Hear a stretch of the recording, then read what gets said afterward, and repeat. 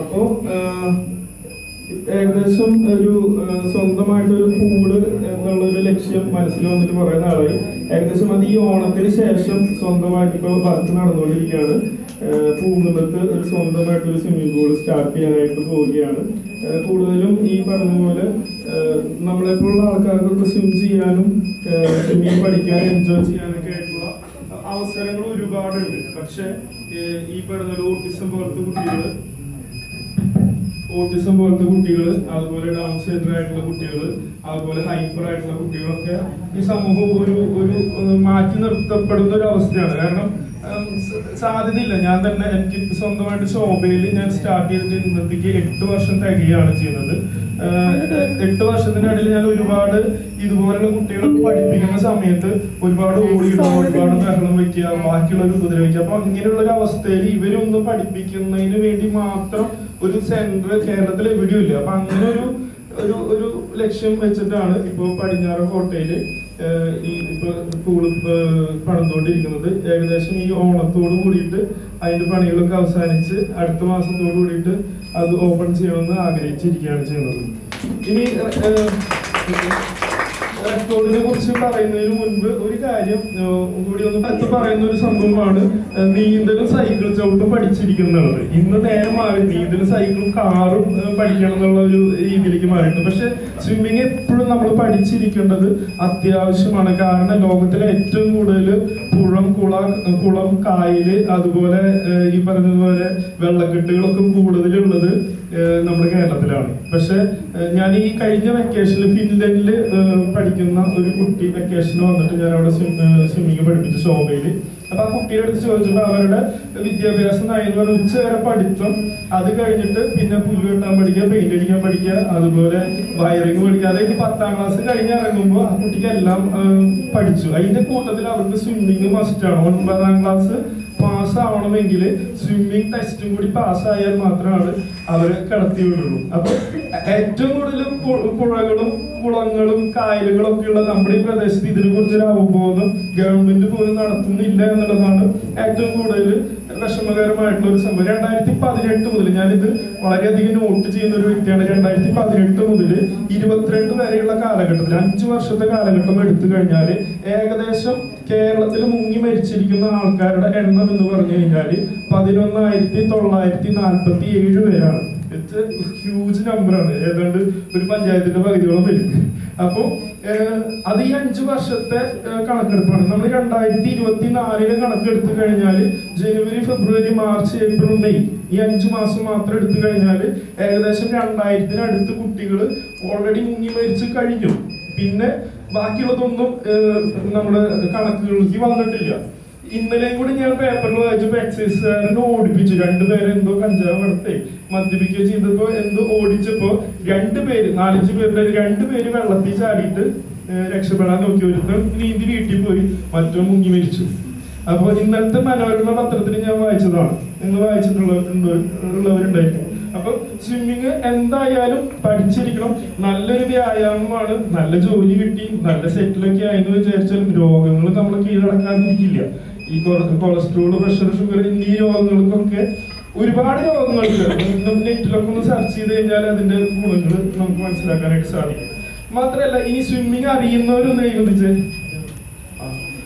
അത് കുഴപ്പമില്ലാത്ത നമ്പർ ഉണ്ട് നിങ്ങൾ സ്വിമ്മിങ് അറിയാം? ഓക്കെ അതായത് നമ്മൾ സ്വിമ്മിങ് ഒരൊറ്റ ഒരു കാര്യം കൂടി ഞാൻ പറയട്ടെ. നമ്മൾ സ്വിമ്മിങ് അറിയും എന്നുള്ള കോൺഫിഡൻസിൽ പോയിട്ട് പുഴകൾ കുളങ്ങൾ കായലുകൾ എന്നിങ്ങനെയുള്ള അപകടകരമായിട്ടുള്ള സ്ഥലങ്ങളിൽ പോയിട്ട് ഒരിക്കലും ചാടാനായിട്ട് പാടില്ല. കാരണം കേരള ഗവൺമെന്റ് ഇങ്ങനെ ഒരു പദ്ധതി ഇങ്ങനെ ഒരു അവബോധത്തിനെ കുറിച്ച് സംസാരിക്കാതെ ഇരുന്നിട്ട് ഞങ്ങൾ സംഘടനാപരമായിട്ട് ഇതിനൊക്കെ ഒരു പാസ് കൊടുക്കണം എന്ന് പറഞ്ഞിട്ട് പല നിവേദനങ്ങളും കൊടുത്തിട്ടും ഒരു ഇണക്കില്ലാണ്ടായപ്പോ ഒറ്റയാൾ പട്ടാളം പോലെ ഞാൻ സ്വയമായിട്ട് എടുത്തിരിക്കുന്ന ഒരു തീരുമാനമാണ്. എവിടെ ഇങ്ങനെ ഒരു വേദി കിട്ടിയാലും ഇതിനെ കുറിച്ച് രണ്ട് വാക്ക് പറയും എന്നുള്ളത്. അപ്പൊ മാത്രല്ല നമ്മുടെ ഈ തൊട്ടടുത്ത് കയ്യന്നൂര് ചീപ്പ് എന്ന് പറഞ്ഞൊരു സ്ഥല- സ്ഥലമുണ്ട്. കയ്യന്നൂര് വെള്ളക്കെട്ട്. ഏകദേശം ഇത്ര കാലത്തിന്റെ ഇടയിൽ ഇരുപത്തിനാല് കുട്ടികളാണ് അവിടെ മുങ്ങി മരിച്ചിരിക്കുന്നത്. ഈ മൂന്ന് മാസം മുൻപ് പോലും ഒരു നാല് പേര് ഒരു ദിവസം മുങ്ങി മരിച്ചു. അത് കഴിഞ്ഞിട്ട് ഞാൻ അതൊക്കെ വാർത്തയിൽ കണ്ട് ഒരു ദിവസം ഇതുപോലെ വണ്ടിയിൽ സെന്റ് തോമസ് കോളേജിന് മുമ്പിൽ കൂടെ പോകുന്ന സമയത്ത് ആ സെന്റ് തോമസ് കോളേജിന്റെ മുമ്പിൽ ആദരാഞ്ജലികൾ എന്ന് പറഞ്ഞിട്ട് എഴുതി ഇവരുടെ ഫോട്ടോ വെച്ചിട്ടുണ്ട് എന്തൊരു ദയനീയമായിട്ടുള്ള ഒരു കാഴ്ചയാണ്. നമ്മുടെ കൂട്ടത്തിൽ പഠിക്കുന്ന നമ്മുടെ കൂട്ടുകാരായിരിക്കുന്ന നമ്മുടെ സുഹൃത്തുക്കളായിരിക്കുന്നവരുടെ ഫോട്ടോ ഇങ്ങനെ വരിക എന്ന് പറഞ്ഞു കഴിഞ്ഞാൽ എത്രയോ ദുഃഖകരമായിട്ടുള്ള ഒരു സംഭവമാണ്. അപ്പൊ ഇങ്ങനെയുള്ള സാഹസികതകൾ കാണിക്കാതിരിക്കാനായിട്ട് നിങ്ങൾ വളരെയധികം ശ്രദ്ധിക്കുക എന്നുള്ളത് ഓർമ്മിപ്പിക്കുന്നു. ഇതിനൊക്കെ ഇത് ഇങ്ങനെയൊക്കെ പറഞ്ഞുകൊണ്ട് ഇതിനൊക്കെ പറഞ്ഞുകൊണ്ട് ഞാൻ ചെയ്യുന്നത് എനിക്കൊരു ചെറിയൊരു യൂട്യൂബ് ചാനലുണ്ട്. പത്ത് ഇരുപത്തി നാലോ നാല് സബ്സ്ക്രൈബ്സ് ഒക്കെ ഉള്ളൂ. ലേണേഴ്സ് എന്നാണ് ചാനലിന്റെ പേര്. ഞാൻ അതിലാണ് കൂടുതലും ഇങ്ങനെയുള്ള വീഡിയോകളൊക്കെ ഇടുന്നത്. കാണാൻ ഒരുപാട് പേരുണ്ട് ലൈക്ക് അടിക്കാനും കമന്റ് അടിക്കാനും ഒരുപാട് പേരുണ്ട് പക്ഷെ മുങ്ങിമാരുടെ നിരക്ക് ഇതുവരെ കുറയുന്നില്ലെന്നുള്ളതാണ് എന്റെ ഒരു സങ്കടം. ഓക്കെ ഇനി റെക്കോർഡിനെ കുറിച്ച് പറയാം. ഏകദേശം ഒരു അഞ്ച് വർഷത്തോളായിട്ടുള്ള ഒരു ആഗ്രഹമായിരുന്നു. ഒരു നീന്തലിൽ ഒരു റെക്കോർഡ് എന്നുള്ളത്. വർഷങ്ങളായിട്ട് സ്വിമ്മിങ് ചെയ്യുന്ന ഒരു ആളെന്ന നിലയിൽ വാട്ടർ ടണ്ടിങ് എനിക്ക് വലിയൊരു ബുദ്ധിമുട്ടുള്ള ഒരു സംഭവമല്ല. പക്ഷെ അത് ടഫായി സ്വിം ചെയ്യുന്നതിനേക്കാളും ടഫായിട്ടുള്ള ഒരു സംഭവമാണ് ഈ വാട്ടർ കട്ടിംഗ് എന്നുള്ളത്. നിലവെള്ളം ചവിട്ടുക വെള്ളം ചവിട്ടുക ഇങ്ങനെ ഒക്കെയാണ് അതിന്റെ ഒരു പേര് എന്ന് പറയുന്നത്. അപ്പൊ അങ്ങനെ ഇരിക്കുമ്പോഴാണ് രണ്ടായിരത്തി ഇരുപത്തി നാലിൽ ആദ്യ മാസങ്ങളിൽ പീച്ച് സ്വിമ്മിംഗ് പൂളിൽ ഗവൺമെന്റ് പൂളാണ് അത് നമുക്ക് അത് ലീസിന് തന്ന് അവിടെ സ്വിമ്മിങ് പഠിപ്പിക്കൽ ഞാൻ എന്റെ ഒരു സുഹൃത്തും കൂടിയിട്ട് ഒന്ന് സ്റ്റാർട്ട് ചെയ്തിട്ടുണ്ടായിരുന്നു. ഏഹ് പക്ഷേ അത് ഈ കഴിഞ്ഞ പീച്ച് വെള്ളം വിട്ട് അതാകെ ഒരു പ്രശ്നമൊക്കെ ആയിട്ട് കൂടിയിട്ടാണ് ജസ്റ്റ് ഒന്ന് നിർത്തിയേക്കുന്നത് അപ്പൊ ആ സമയത്ത് രാവിലെ ഒരു ഏഴ് ടു എട്ട് ഞാൻ പഠിപ്പിക്കും. അത് കഴിഞ്ഞിട്ട് തിരിച്ചു വീട്ടിൽ വരും. എന്നിട്ടാണ് ഞാൻ സ്കൂളിലേക്ക് പോവുക. അപ്പൊ അങ്ങനെ വരുന്ന സമയത്ത് ഏഴ് മണിക്ക് ചെല്ലുന്ന ഞാൻ ഒരു അരമണിക്കൂർ ഒരു ദിവസം നേരത്തെ ചെന്നു. അങ്ങനെ നേരത്തെ ചെന്ന് ഒരു അരമണിക്കൂർ വാട്ടർ റണ്ണിങ് ചെയ്തു. അത് കഴിഞ്ഞിട്ട് വീണ്ടും പിറ്റേ ദിവസം ഒരു മണിക്കൂർ നേരത്തെ ചെന്നു. അങ്ങനെ രണ്ടാമത്തെ ദിവസം ഒരു മണിക്കൂർ നിന്നു. മൂന്നാമത്തെ ദിവസം രണ്ട് മണിക്കൂർ നേർച്ച ചെന്നു. മൂന്നാമത്തെ ദിവസം അങ്ങനെ രണ്ട് രണ്ട് മണിക്കൂർ നിന്നു.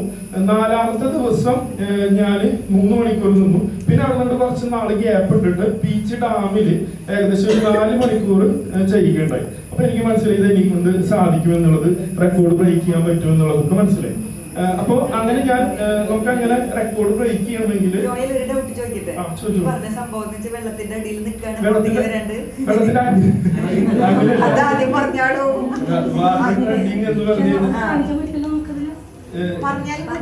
വെള്ളത്തിൽ നമ്മൾ നല്ല ആഴമുള്ള വെള്ളത്തിൽ കഴുത്തൊപ്പം വെള്ളത്തിൽ നിൽക്കുക എന്നുള്ളത്. ബാലൻസ് ചെയ്ത് നിൽക്കുക. കഴിച്ചു പുറത്ത്. ഒരു രണ്ട് മണിക്കൂർ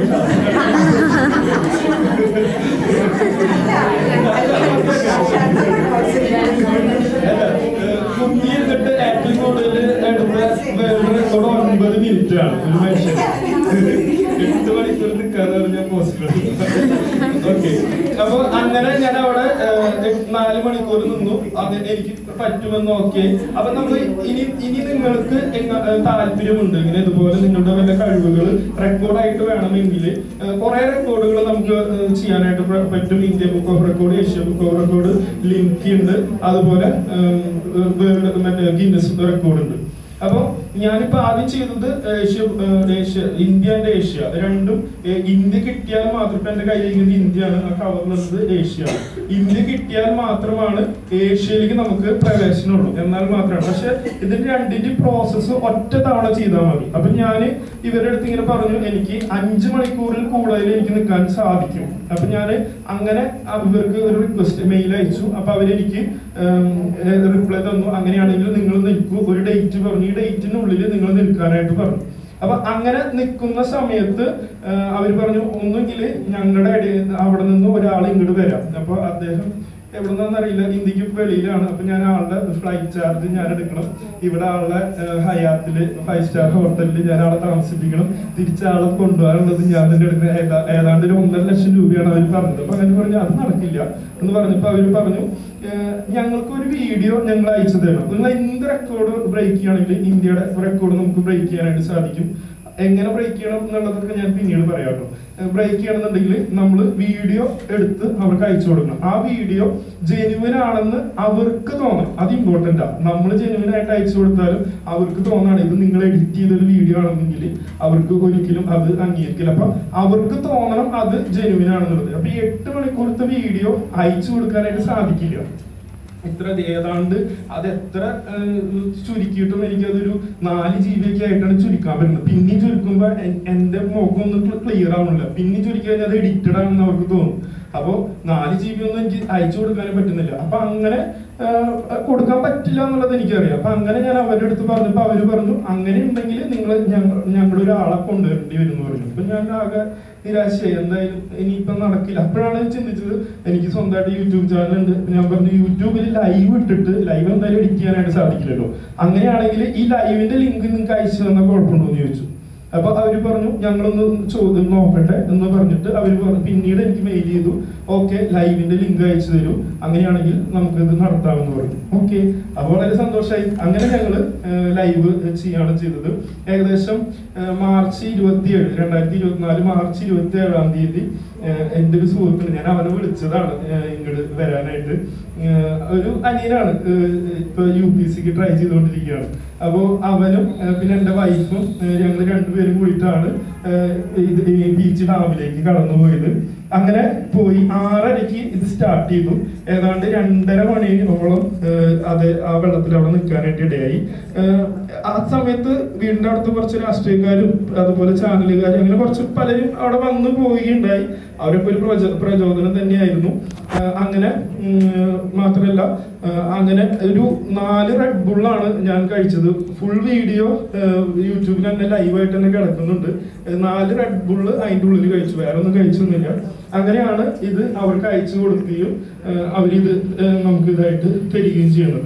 അപ്പോൾ India book of record just നിങ്ങൾക്ക് ഞാൻ കാണിച്ചു തരാം. നമുക്ക് കിട്ടുമ്പോൾ ഇങ്ങനെയാണ് കിട്ടുക. നല്ല അടിപൊളി ബോക്സ് ആണ്. എനിക്ക് ഏറ്റവും ഇഷ്ടമായ ഒരു ബോക്സ് ആണ്. ഓക്കെ ഇവിടെ ലോക്ക് ഉണ്ട്. ലോക്ക് തുറക്കുമ്പോൾ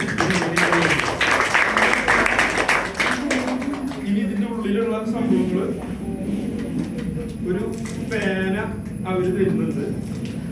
ഇതിനകത്ത് ഇന്ത്യ റെക്കോർഡ് കഴിഞ്ഞിട്ടുണ്ട്. എഴുത്തൊക്കെ ഭയങ്കര പാടാണ്. അത്യാവശ്യം മണമുള്ള ഒരു പേനയാണ്.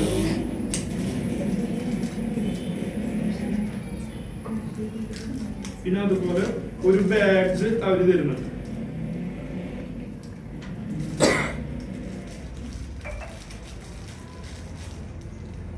പിന്നെ തരുന്നത് നമ്മുടെ ഫോട്ടോ വെച്ചിട്ടുള്ള ഒരു ഐ ഡി കാർഡാണ്.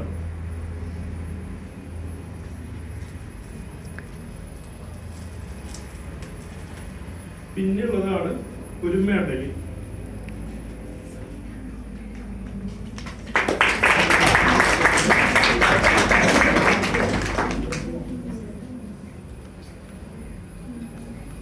പിന്നെ രണ്ട് കാർ ബാക്ക് അവർ തരുന്നുണ്ട്.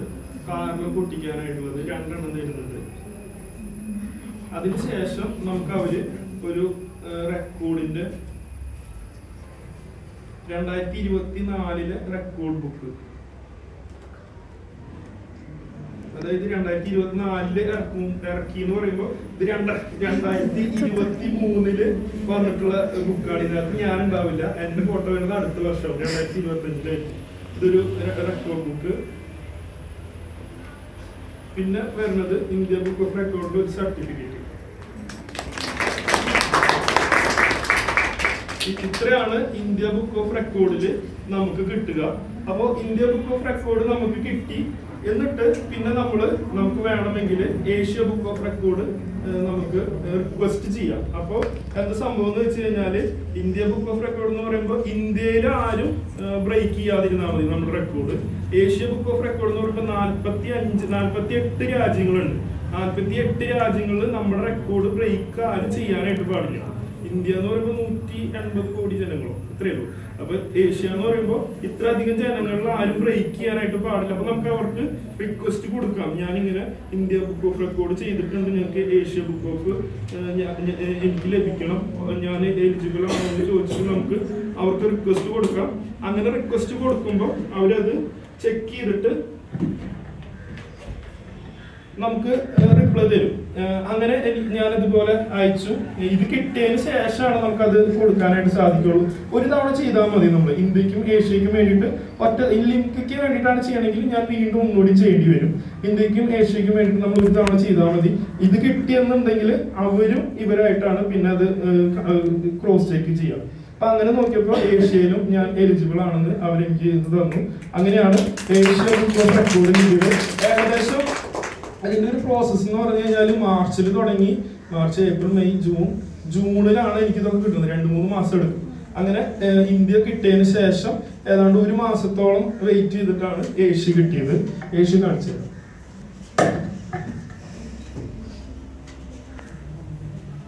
ഒന്നും കൊണ്ടുനടക്കാൻ പറ്റില്ല. ബാഗിലാണെങ്കിൽ കൊള്ളുന്നില്ല അത്യാവശ്യം ഇതിൽ ഏഷ്യ ബുക്ക് ഓഫ് റെക്കോർഡ് എഴുതിയിട്ടുണ്ട്.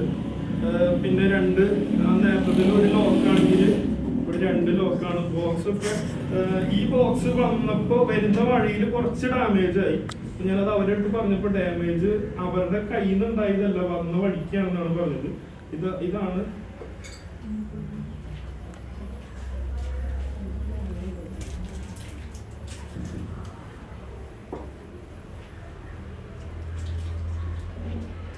ഇതാണ്. ഇതിന്റെ ഈ ഭാഗത്തായിട്ടാണ് സർട്ടിഫിക്കറ്റ് വരുന്നത്. ആ സർട്ടിഫിക്കറ്റ് ഫ്രെയിം ചെയ്തിട്ടുണ്ട്. അതുകൊണ്ട് ഇങ്ങനെയായി. ഇതിനകത്ത് ഫുൾ ഡീറ്റെയിൽ കൊടുത്തിട്ടുണ്ട്. എന്റെ ജനനവർഷം അതുപോലെ എവിടെയാണ് ചെയ്തത്? എത്ര മണിക്കൂറാണ് ചെയ്തത് ആക്ച്വലി ഞാൻ ചെയ്തത് എട്ട് മണിക്കൂറും എട്ട് മിനിറ്റും എട്ട് സെക്കൻഡും ആണ്. എട്ട് എട്ട് എട്ട് വരുന്നതിന് വേണ്ടിയിട്ട് ട്രൈ ചെയ്തു.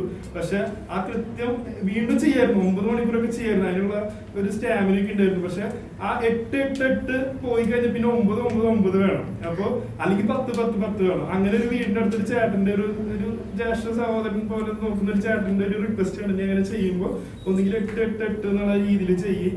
അഞ്ചു മണിക്കൂർ എന്നാണ് പറഞ്ഞത്. അപ്പൊ അഞ്ച് അഞ്ച് അഞ്ച് മണിക്കൂർ അഞ്ച് മിനിറ്റ് അഞ്ച് സെക്കൻഡ് പറയാൻ ഒരു രസമില്ലേ എന്ന് പറഞ്ഞിട്ട്? അങ്ങനെ അഞ്ചു മണിക്കൂർ കഴിഞ്ഞു. കുറച്ചുകൂടി നേരം നിൽക്കാൻ പറ്റും. അപ്പൊ ആറ് മണിക്കൂറായി അപ്പൊ ഏഴ് മണിക്കൂറായി പിന്നെ എട്ട് മണിക്കൂറായി എട്ട് മണിക്കൂർ കഴിഞ്ഞപ്പോ ചെറുതായിട്ട് മസിൽ പിടിച്ചു തുടങ്ങി. അപ്പൊ വീണ്ടും നിൽക്കാനായിട്ട് സാധിക്കും. പക്ഷെ ആ ആ ടൈം പോയാലോ എന്ന് വിചാരിച്ചിട്ട് എട്ട് മണിക്കൂർ എട്ട് സെക്കൻഡ് എട്ട് മിനിറ്റിൽ നിർത്തി. പക്ഷെ എന്താ സംഭവം എന്ന് വെച്ച് കഴിഞ്ഞാൽ ഇടയ്ക്ക് വെച്ചിട്ട് ഈ ലൈവ് ഒന്ന് കട്ടായി പോയി. അപ്പോ ഇതിന്റെ ഇടയിൽ പന്ത്രണ്ട് മിനിറ്റ് ആണ് കട്ടായി പോയത്. നമ്മൾ നോക്കുമ്പോൾ ലൈവിൽ കൃത്യമായിട്ട് എട്ട് മണിക്കൂർ എട്ട് മിനിറ്റ് എട്ട് സെക്കൻഡ് ഉണ്ട്. ലൈവ് അത് ഓഫ് ആക്കി കഴിഞ്ഞപ്പോൾ കൃത്യമായിട്ട് അത് ഒരു പന്ത്രണ്ട് മിനിറ്റ് കുറഞ്ഞിട്ടാണ് കണ്ടത്. അതാണ് ഈ ഏഴ് മണിക്കൂർ അമ്പത്തി ആറ് സെക്കൻഡ് മിനിറ്റ് എന്നുള്ള പറയുന്നത് ഇതിൽ വരുന്നത്. ഇനി ഇതിലുള്ളത് നേരത്തെ പറഞ്ഞ പോലെ ഒരു പേനയാണുള്ളത്. പിന്നെ ഉള്ളത് ഏഷ്യ ബുക്ക് ഓഫ് റെക്കോർഡിന്റെ ഒരു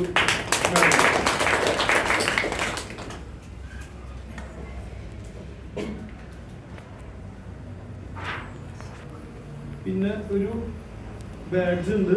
എനിക്ക് തോന്നുന്നു ഇന്ത്യനെക്കാട്ടും വിശുക്കന്മാരാണ് ഏഷ്യക്കാർ ബാഡ്ജ് ഒക്കെ വളരെ ചെറുതാണ്. അതിലുള്ള പലതും ഇതിലില്ല. ഈ പറഞ്ഞ പോലെ ഐ ഡി കാർഡ് ഒന്നും ഇല്ല പിന്നെ ഇത് ഒരു റെക്കോർഡ് ബുക്കാണുള്ളത് ഇത്രയാണ് ഏഷ്യ ബുക്ക് ഓഫ് റെക്കോർഡിൽ വരുന്നത്.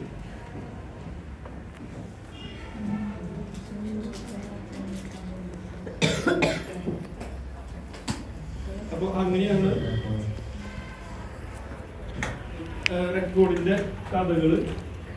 എന്നെ ഒരുപാട് ഹെൽപ്പ് ചെയ്ത ആൾക്കാർ ഒരുപാട് പേരുണ്ടായിരുന്നു ഫാമിലി എന്റെ കൂടെ വർക്ക് ചെയ്യുന്നുണ്ടായിരുന്നവര് പിന്നെ എന്നെ ഏറ്റവും കൂടുതൽ ഇതിനകത്ത് രാവിലെ എഴുന്നേറ്റ് പ്രാക്ടീസിന് പോകുന്നൊക്കെ തള്ളിവിട്ടത് എന്റെ വൈഫാണ് അപ്പൊ അങ്ങനെ ഒരുപാട് ഇതൊക്കെ ഉണ്ടായിട്ടുണ്ട്. അപ്പൊ നിങ്ങൾക്ക് ഇതുപോലെ ചെയ്യാനായിട്ട് സാധിക്കും. നമ്മുടെ ഓരോ ചെറിയ ഒരു കഴിവുകളും അത് ചെറുതല്ല. അത് നമ്മൾ എത്രത്തോളം വളർത്തിയെടുത്ത്. ഞാൻ അഞ്ചു ദിവസം പ്രാക്ടീസ് ചെയ്തു എന്ന് പറയുമ്പോൾ നിങ്ങൾ ഒട്ടും വിചാരിക്കരുത്. ഈ അഞ്ചു ദിവസം മാത്രമല്ല പന്ത്രണ്ട് വർഷത്തെ ഒരു എക്സ്പീരിയൻസ് ആണ് ഈ അഞ്ചു മണിക്കൂർ പ്രാക്ടീസ് ചെയ്യാനുള്ള ഒരു സെറ്റപ്പിലേക്ക് കൊണ്ടുവന്നത്. അപ്പോൾ അറൗണ്ട് ഒരു പന്ത്രണ്ട് വർഷത്തെ ഇതുണ്ട്. വെള്ളത്തിൽ കടന്നിട്ടുള്ള ഒരു ജീവിതം ഇടയ്ക്ക് സോണി മിസ് പറഞ്ഞു നിന്റെ ജീവിതം വെള്ളത്തിലാണെന്ന് പറഞ്ഞ പോലെ വെള്ളത്തിലാണ്. അപ്പൊ ഇനിയും വെള്ളത്തിൽ തന്നെയാണ് ലൈഫ് വെള്ളത്തിലാണ്. അപ്പൊ നിങ്ങളുടെ അതെ അക്ഷരാർത്ഥമായിട്ട് അങ്ങനെ പറഞ്ഞു പറഞ്ഞതാണ്. അപ്പൊ ഇനി നിങ്ങൾക്കും ഉണ്ട് ഇപ്പൊ ഫ്ലൂട്ട് വായിച്ച ഒരു പയ്യൻ സാഗർ വളരെ നന്നായിട്ട് ചെയ്തിട്ടുണ്ട്. അതിന്റെ ഒക്കെ നമുക്ക് രണ്ട് രീതിയിൽ നമുക്ക് ചെയ്യാനായിട്ട് സാധിക്കും. ഒന്ന് റെക്കോർഡ് പുതുതായിട്ട് ഉണ്ടാക്കാനായിട്ട് സാധിക്കും. രണ്ട് റെക്കോർഡ് ബ്രേക്ക് ചെയ്യാനായിട്ട് സാധിക്കും. ഞാനിപ്പോ ചെയ്ത് ബ്രേക്ക് ചെയ്യാണ് ചെയ്തത്. എന്റെ മുൻപ് ചെയ്ത ആൾ രണ്ട് മണിക്കൂറും ഇരുപത്തൊന്ന് മിനിറ്റും ആണ് ചെയ്തത്. അപ്പൊ ഇത് ഞാൻ ഇത്ര നീട്ടി ചെയ്തത് കുറച്ച് നാളെങ്കിലും എന്റെ പേരിൽ റെക്കോർഡ് കിടക്കും എന്നുള്ളൊരു മൈൻഡിൽ വേണ്ടിയിട്ടാണ് ഞാൻ അത് നീട്ടി ചെയ്തത്. അപ്പോ ആഹ് ന- നമുക്ക് എല്ലാവർക്കും ഇതുപോലെ ചെയ്യാനായിട്ട് സാധിക്കും. ഒരു കഴിവില്ലാണ്ട് ജനിക്കുന്നവരായിട്ടുള്ള ആരുമില്ല. എല്ലാവർക്കും അവരുടേതായ ചെറിയ ചെറിയ കഴിവുകളുണ്ടാവും. അത് എത്രത്തോളം നമ്മൾ വളർത്തിയെടുക്കുന്നോ അതനുസരിച്ച് നമുക്ക് തിളങ്ങാനായിട്ട് സാധിക്കും. നിങ്ങൾക്ക് നിങ്ങളുടെ കഴിവുകളിൽ വിശ്വാസം ഉണ്ടെങ്കിൽ മറ്റൊരാളെ നോക്കണം. ഞാൻ ഞാൻ നേരത്തെ പറഞ്ഞു എന്റെ യൂട്യൂബ് ചാനൽ ഞാൻ സ്റ്റാർട്ട് ചെയ്തപ്പോൾ ഒരുപാട് നിന്ദകൾ വന്നിട്ടുണ്ടായിരുന്ന ഒരു അവസ്ഥയുണ്ട്. കാരണം ഞാൻ ഒരു സ്റ്റേജ് സ്വിമ്മർ എന്റെ മാഷന്മാരും എന്റെ സീനിയേഴ്സും ഒക്കെ നിലനിൽക്കുന്ന സമയത്താണ് ഞാൻ നീന്തൽ പഠിപ്പിക്കുന്ന ഒരു ചാനൽ ഞാൻ സ്റ്റാർട്ട് ചെയ്തത്. അപ്പൊ അവർ നോക്കുമ്പോൾ ഇവൻ ഈ ചെറിയ പയ്യൻ അവർ അവർ നോക്കുമ്പോ അവർ അതിലും വലിയ ആൾക്കാരാണ്. അവരുടെ ഇടയിൽ ഇന്ന് അവർ നിങ്ങളെ കളിയാക്കും നാളെ അവർ അവർ നിങ്ങളുടെ കൂടെ വന്നിട്ട് നിങ്ങൾ പ്രശംസിക്കും. അത് ജീവിതത്തിൽ വന്നിട്ടുള്ള ഒരു സംഭവമാണ്. അപ്പൊ ഇപ്പോ എന്റെ സീനിയേഴ്സ് ഉള്ള ആൾക്കാർ ഓരോ സബ്ജക്റ്റുകൾ എനിക്ക് പറഞ്ഞത് ഈ സബ്ജക്റ്റിൽ വീഡിയോ ചെയ്യണമെന്ന് പറയുന്ന ഒരു രീതിയിലേക്ക് വന്നു. അപ്പൊ ആദ്യം നിങ്ങൾ നിങ്ങളുടെ കഴിവുകൾ പുറത്തെടുക്കുമ്പോൾ ഒരു പക്ഷെ മറ്റുള്ളവരിൽ നിന്ന് എന്തെങ്കിലും വല്ല നിന്നകളോ അല്ലെങ്കിൽ അങ്ങനത്തെ വല്ല പരിഹാസങ്ങളൊക്കെ ആയിരിക്കും. പക്ഷെ അത് കണ്ടില്ല എന്ന് വിചാരിച്ച് നമ്മൾ മുന്നേറുകയാണെങ്കിൽ തീർച്ചയായിട്ടും നിങ്ങൾക്കും ഇതുപോലെയുള്ള ഒരുപാട് മേഖലകൾ തിളങ്ങാനായിട്ട് സാധിക്കും. അങ്ങനെ തിളങ്ങട്ടെ എന്ന് പറഞ്ഞുകൊണ്ട് നിർത്തുന്നു. നന്ദി നമസ്കാരം.